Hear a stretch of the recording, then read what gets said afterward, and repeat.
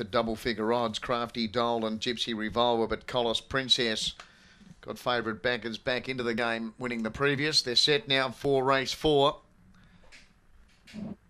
So Deed at 280, play your race at 330. They're away and getting quickly here was play your race. It's going to lead early. Up on the inside, Bamboo Club from Young Wingard. Deeds drifted back, going past it. Fruitcake with Hollywood Model. And next making waves from Senior Lid, but off the back, Play Your Race led the way. Leads from Bamboo Club, Young Wingard, Hollywood Model. And Play Your Race is going well. Play Your Race goes on to beat Young Wingard. Bamboo Club third, Hollywood Model fourth. Next was Making Waves from Senior led Deed and Fruitcake. 23.07 the time. Number two, the winner here. Two, three, and one.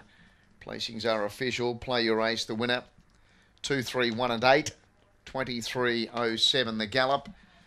That winner at 3.30. $4 and 3.10. Play your race. Has won officially by three and three quarter lengths. Three and three quarters by a length and a half were the margins. Three and three quarters by a length and a half. 885 the first split, so 885 early. The run home 1422. 1422 the run home. Gallop 2307. Play Your Race by Take the Kitty out of Bumbo Blue. Todd Kelly trains for the Kelly gang.